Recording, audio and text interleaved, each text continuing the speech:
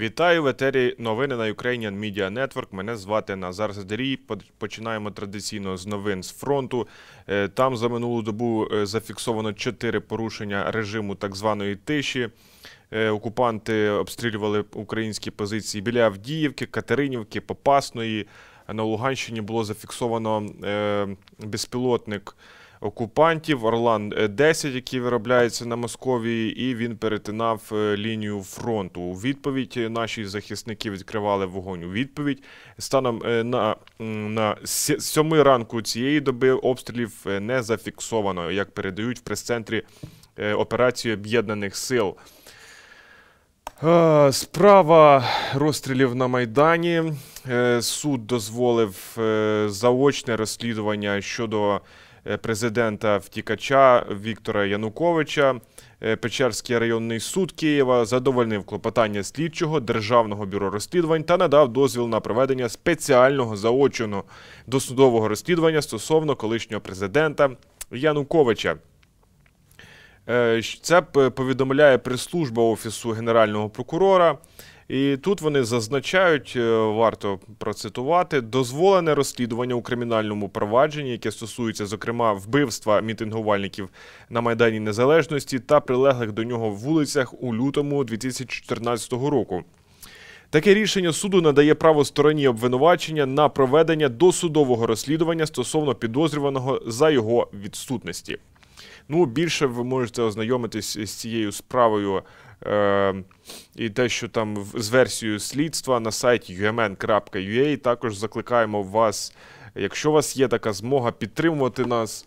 Е, донейтом, ось є у нас червона кнопка, і тут є всі реквізити. Ми дуже дякуємо вам за підтримку, і вона нам дуже необхідна, аби ми існували і розвивалися для вас.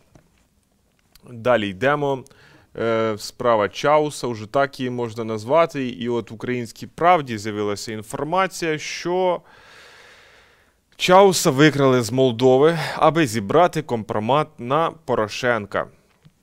Так і пишуть е, з посиланням на чотири джерела в правоохоронних органах та серед оточення Зеленського. Тут зазначається, що співробітник, е, співрозмовник української правди у владних колах ще у травні цього року говорив, що оточення Зеленського не розуміє серйозність історії з викраденням Чауса і що її будуть розкручувати, використовуючи проти президента. В офісі президента вважають, що за попередників у спецслужбах існувала група, яка займалась викраденням і прослуховуванням людей, і що нібито саме вона вивозила Чауса з України в 2016 році. Керівником цієї групи ВП вважають колишнього головного розвідника Василя Бурбу, якого банкова майже проголосила своїм публічним ворогом у 2020 році після так званого Вагнер-гейту. Е, і, до речі. Е, Ліга Нет розповів е, Хрісто Грозєв е, з Bellingcat, що до кінця серпня має бути невеличкий фільм щодо Вагнергейту, і там буде також текстова версія цього фільму розслідування щодо спецоперації про вагнерівців. Ось, а повний фільм має бути вже ближче до кінця року. Будемо слідкувати. Так, от щодо справи Чауса. За даними джерел української правди, у правоохоронних органах в Україні Чауса тримали на військових базах у Києві. Адвокат, як судді, навіть вказував на конкретний об'єкт Держприкордонслужби. Ось так от навіть. Прикордонники, звичайно ж, заперечували, що тримають Чауса в себе, але співрозмовник УП каже, що такий факт дійсно був, але екс-суддю тримали на іншій базі Державної прикордонної служби в Оболонському районі Києва, недалеко від Пущі Водиці. І на вихідних е, адвокат Чауса заявляв. Е, що його підзахисний перебуває під охороною, в нього там е, йому надають медичну допомогу. А ще в суботу вже була заява. Нарешті ми дочекалися заяви СБУ е, щодо Чауса. Там навіть повідомляли, що Чаус сам просив набрати спецслужбу, аби ті його забрали. І також тут зазначає, що співробітники СБУ виконували свої посадові обов'язки, тобто вони його не викрадали, як вони зазначають тут.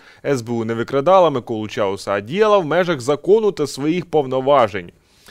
Е, Зазначають, зокрема, що співробітники СБУ виконували свої посадові обов'язки в рамках розслідування відповідного провадження. Провадження е, таке вони тут кажуть. Там нагадали, що СБУ з травня 2021 року здійснює досудове розслідування кримінального провадження за фактами викрадення екс-судді Чауса та незаконного переправлення його через державний кордон.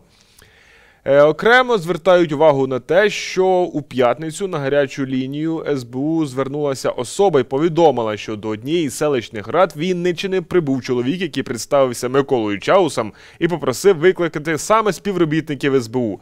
І також тут повідомили у зв'язку е, з- відповідною заявою щодо Чауса вжито заходів для забезпечення його безпеки. Йому надається медична допомога. Також. УНН повідомляє з посиланням на джерела в правоохоронних органах, що Вищий антикорупційний суд обере запобіжний захід екс-судді Миколі Чаусу найближчими, е, найближчу середу, тобто це 4 серпня е, буде. І варто тут ще сказати, що ж НАБУ його підозрює в корупції. Е, І це єдиний орган, який нині розшукує Чауса як підозрюваного.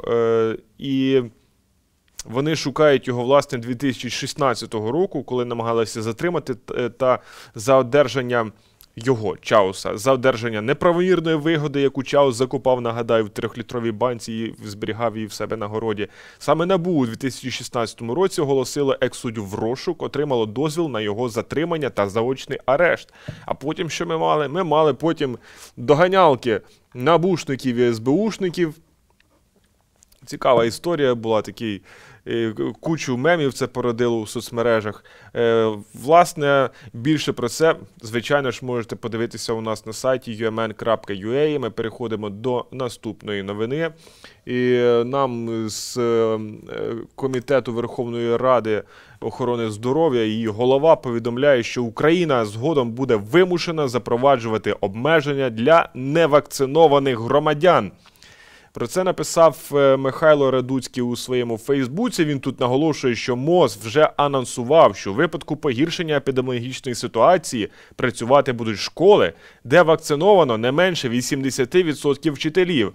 І на його думку, Такі ж обмеження можна і використовувати до інших е, співробітників, які працюють з людьми. На мою думку, аналогічні обмеження логічно запровадити, для транспортників, підприємств громадського харчування та комерційних або комунальних структур, співробітники яких безпосередньо контактують з населенням. Хворий водій маршрутки інфікує аж ніяк не менше людей, ніж вчитель. Ми в Україні не говоримо про обов'язкову вакцинацію. Ніхто не має права змушувати людину вакцинуватись, але цілком справедливо вимагати, щоб роботу, яка передбачає контакт з великою кількістю людей, виконували вакциновані співробітники, розповів Радуцький у Фейсбук. Ай, це були найголовніші новини станом на зараз. Більше читайте на нашому сайті umn.ua. Також для вас доступні наші сторінки у соціальних мережах. Чи то Facebook є, і в Твіттері ми є, і також для вас доступний месенджер umn.ua. Е, і дякую вам за підтримку. Всі реквізити є у нас на сайті. Всі, хто можуть і хочуть підтримати нас е, донейтом, ви можете підтримати нас шером цього відео, лайком, е, пишіть коментарі е, у, у цьому під цим відео. З вами був Назар Задерій. Дякую за увагу. До наступних зустрічей.